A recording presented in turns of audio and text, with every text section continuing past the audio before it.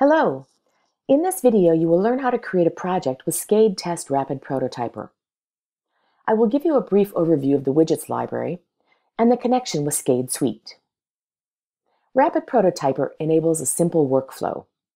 You create your panel, typically building it with the widget library, then define and connect their inputs and outputs. You save your models and can generate automatically standalone executables in one click. These executables can target Windows, Android, or iOS platforms. Once you've created a project, you can easily add components to the control panel with drag and drop. There is a library of predefined widgets available for quick and easy design.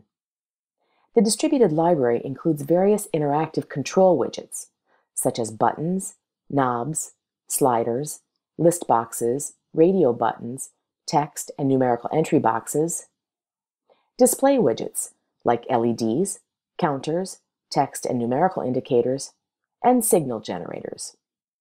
The library of widgets is meant to be easily user customized, and this library is extensible with custom widgets.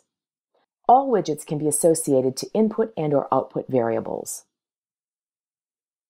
Rapid Prototyper can be used for different simulation environments, ranging from SCADE Suite applications to ANSYS Simplorer or any tool with any FMI standardized interface connectivity.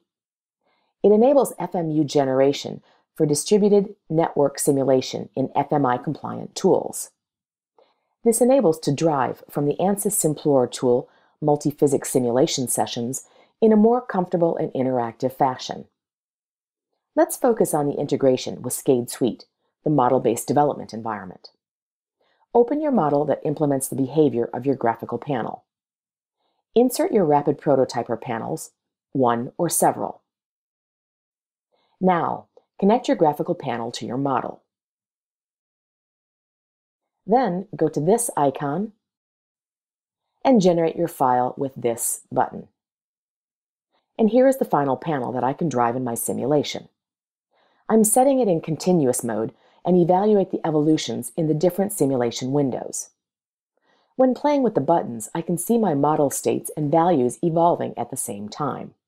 That's a very efficient way to validate your requirements at early stages of the project. Thank you.